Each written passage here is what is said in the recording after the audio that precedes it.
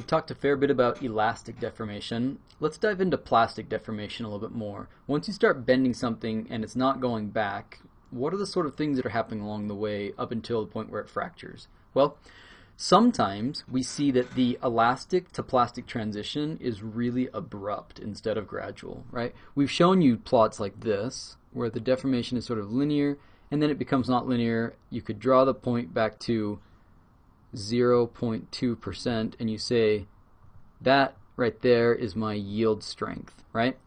But in some cases it doesn't look smooth like that. Instead, it reaches some upper point, it drops pretty dramatically, and then you have this lower yield point. So you end up with a upper and a lower yield point. It does something odd where a lot of strain is developed there, and then it starts to do this typical up curve that you see, right? So what are some typical values that you can expect to see for metals? Well, uh, aluminum has yield strength of around 35 megapascals, pretty easy and flexible to bend, whereas steel is much stronger, over you know around 1400 megapascals, the typical value for yield strength of steel, right? There's something known as the tensile strength. Sometimes we call it the ultimate tensile strength, and this is the maximum stress that is achieved during stress versus strain, right? So there's some maximum point it reaches, and then you'll notice that the stress actually starts going down. It's still it's like it's it's deforming still, but the stress to make it deform is going down, down, down. So this is your maximum or your ultimate tensile strength. That's the maximum that it can ever withhold. And after that, it goes down. And then you, of course, have your stress at fracture. So you could have a stress at fracture as well. Okay? Now, quick question. This plot looks a little bit funny, doesn't it? Right? it makes sense that if you apply more and more stress, you get more and more strain. And so this general upward curve makes sense. But why would it ever start turning down? Right? So true or false? The material is getting harder and stronger up until the tensile strength, TS, and then it becomes weaker, right? Since it's going downhill. True or false? So it's a bit of a trick question. As you deform materials, they always get harder and stronger. So why would it look like it's going down?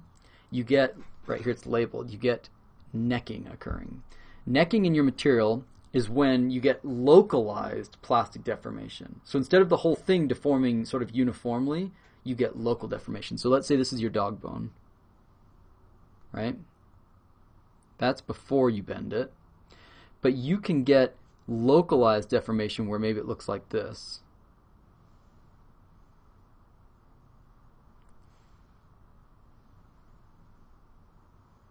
Right? This region right there basically gets further drawn down. That's called necking, okay? We'll show you some pictures of that in a minute.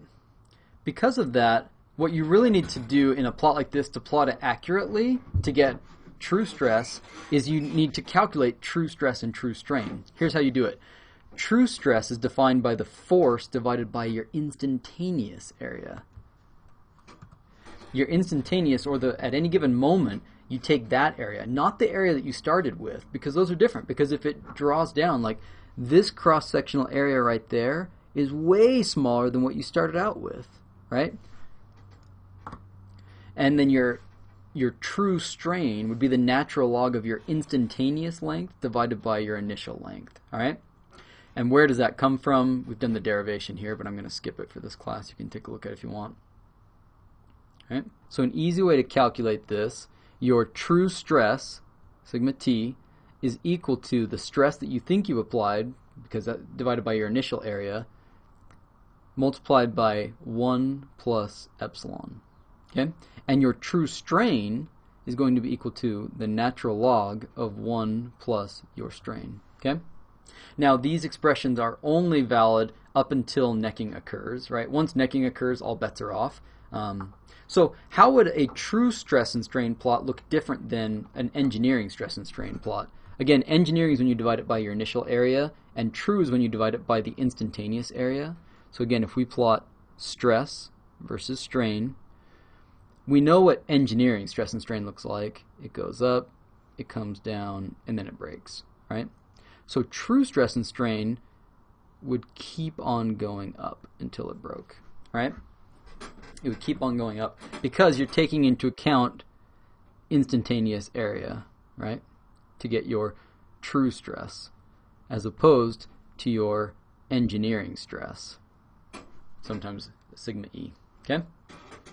So, what are some examples of this necking? Here you can see it. These markers were equally marked. I think they were every one centimeter on this bar. And then when they pulled it, you can see that between this marker and that marker, it's now like double the length because right there you got additional deformation that was localized deformation occurring in your material. And then the break obviously occurred there because look at your cross sectional area. It's much smaller there than over here. So it has a higher stress state there.